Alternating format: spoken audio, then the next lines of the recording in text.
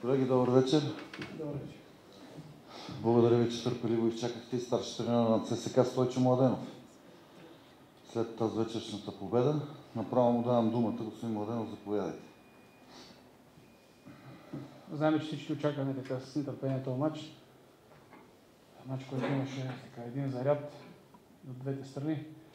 Радвам се, че изнесохме матч. По най-добрия начин успяхме да победим отбора на матч. Мисля, че единствената грешка, която допуснахме в матча, беше последните минути, където се прибрахме много близко до нашето наказателно поле и дадохме възможност на, на Ботев да центрират няколко опасни топки, които така можеше да, да отбележат гол. През всичкото игрово време контролирахме играта, контролирахме резултата. Беше изключително полезно така и поведението на целия отбор. Като дисциплина и като, като технически така изигран добре матч. Имате думата за въпроси. Да, само се представите, заповядайте. Иван Донков от Биспорт. А, така, очаквахте ли Крачунов да се представи толкова добре в отсъствието на Валентин Илиев и малко странно, но съперника не атакуваше точно през тази позиция, където би трябвало да отбраната ви да е поставена. Против не съм се съмнявал в това, което има като възможности Крачунов, затова именно и беше привлечен през зимния трансферен прозорец. Много хора се чудиха, дори не годуваха, но аз знам какво правя, така че във всички мачи, които му го съм доверя, знам, че се защити по най-достойния начин и той го прави до този момент. Откъде са атакували е, Ботев, мисля, че е, през цялото време така, цялата защита и, и отбора като цяло се справи блестящо. С изключение на тия минути, които ви казах последните от матча. Където тактически трябваше да изнесем малко по-напред, да биеме противниковите. а, Така, както защитниците, така и халфовите, за да не могат да изнасят, да искат да изиграват, да разиграват топката и по този начин да стигнат до нашето наказателно поле, там да центрират, както се случи някои от 3-4 центрирани топки, които не застрашиха до- така, достатъчно сериозно и една от ситуациите, видяхте, удариха и карата. При останалото време поведението им беше блестящо. Росен. Симоненов, вие в исторически план сте казвал, че когато Боро не върви е лошо, но доколкото знам, винаги сте се притеснял, когато нещата върват от удари под кръста. Сега имате ли притеснение, че от някъде могат да дойдат такива удари под кръста, когато ЦСКА тръгва вече в чисто футболен аспект? Ами, вие е, видяхте ли днеска ние да бъдем груби отбор? Да получим толкова много картони? Е, ето едно нещо, което аз първия сезон още алармирах и продължавам да твърда и, и да казвам, че това е един от начините, по който ние сме санкционирани и се търси начин да бъдем уязвими. Особено когато мачове, мачовете отиват към своя край, е, така нашия отбор е натрупан и натоварен с прекалено много картони. А днес имаше и, и фащане с ръка отзад. Спомняте ситуацията с Чочев, там нямаше картон. Един съни, който направи два фала през цялото игрово време, всяка вероятност, получи картон. Така че критерия не е еднакъв. Да, едно отлично съдейство, но тия са дребни неща, които в един момент, определен момент дразнат ни. Това влизането на дворе с краката отзад на Чочев. Това са нарушения, които са... То е умишлено това нарушение, то е опасно нарушение, то е грубо нарушение. Е, Това е единството, което, а, ако си спомняте, през есента аз алармирах, че това е тенденция, която да натрупат нашия отбор с картони, за да могат да дойде момент, който да страдаме сега през пролета. Това е което имам като претенция. И че останалото отличен, отлично съдейство. Ивка пак. Ивка Димитрова, канал 3. Господин Младенов, затвърждава ли представен си у Марко Сокола на върха на атаката и доволен ли сте вече от а, неговото представяне, въпреки че той беше преквалифициран? Ами, ние в зимния трансферен прозорец а, не можахме да привлечем това, което искаме като централен нападател.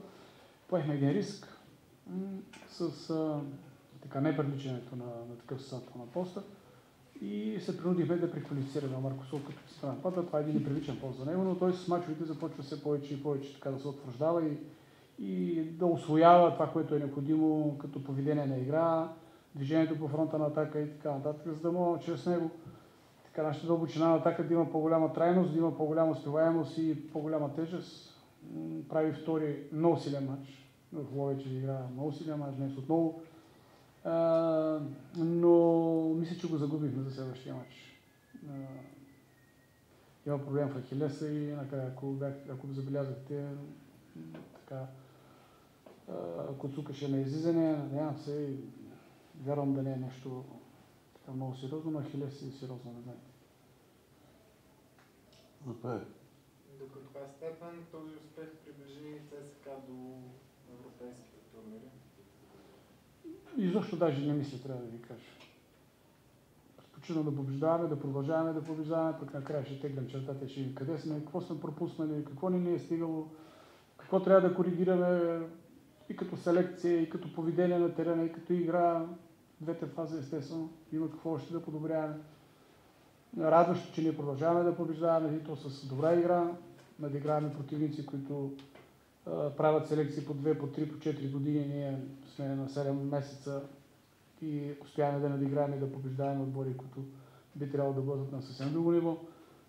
Ние за краткото време свършихме много работа и, и то това време беше изпълнено с много притеснение, с много нерви, с много атаки към нас, много спекулации, много интриги, които продължават и ден днешен да се стремят всячески да пречат и така, ако успяват по някакъв начин да разбият тук колектива, да създадат напрежение, нещо, което ние до този момент се справяме по най-добрия начин. И от чужди, и от свои. Искам да натърта точно тук. И чужди, и свои. Което не им прави чест. поддържате ли тезата, че един такъв отбор, който не е съвсем готов, е по-добре да не играе въобще в Европа? Не, всеки си има цели и си гони. Знаете ли, няма такъв отбор, който да има възможност да вземе даде мач, па да не го вземе. Няма такъв треньор, който да има мач, който мога да вземе и да не го вземе. Няма такъв треньор.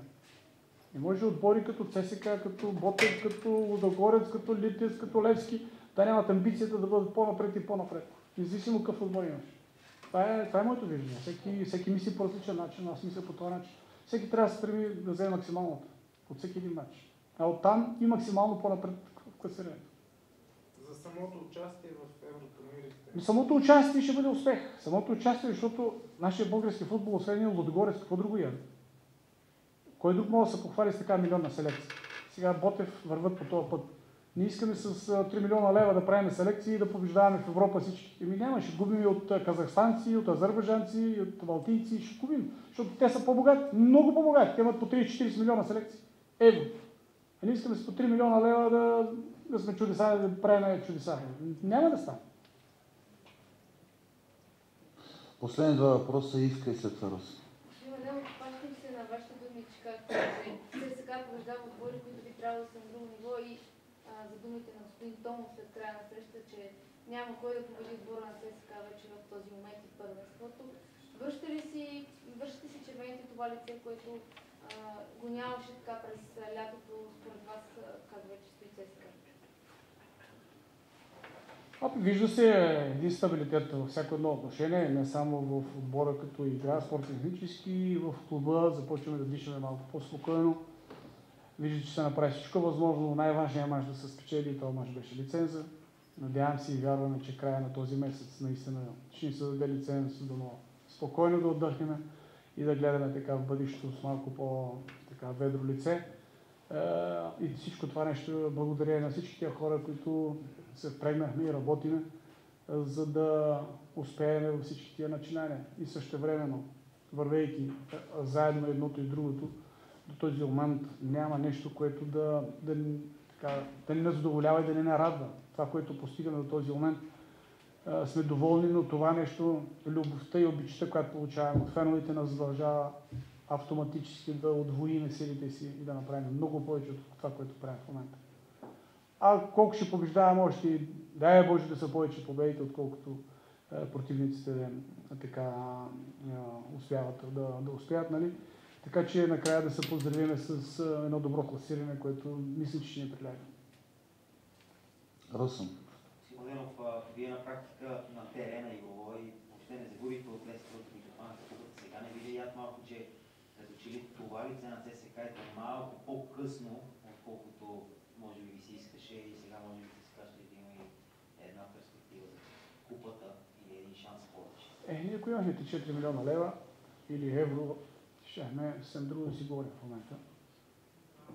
Но и при този недоимък това, което успяхме да направим като селекция, като попълнение с тия млади перспективни хора, а също време така съчетахме и опитността, хора, с които малко повече на година, но с голям бо- богат опит, футболисти с страхотни качества.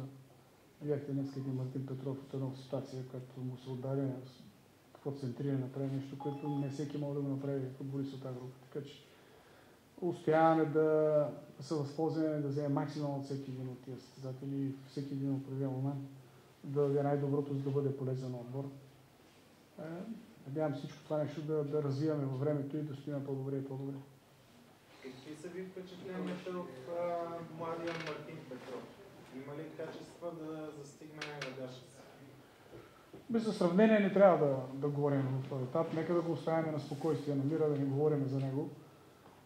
Разбира се, че за да е тук и да предприемем такова, да вземем такова решение, да привлечем такъв състезател, значи ние сме го одобрили, гледали сме го. Знаем, че и други отбори искаха да, да го привлекат, така отбори в, отпред в класирането в момента. Радвам се, че той прия да дойде в ЦСКА, защото просто сърцето му е червено. И ще работим с него, както всички останали млади състезатели от школата и дай Боже от всички тях, пак ви казвам, двама-трима да станат, ура трябва да викам. Благодаря ви, колеги.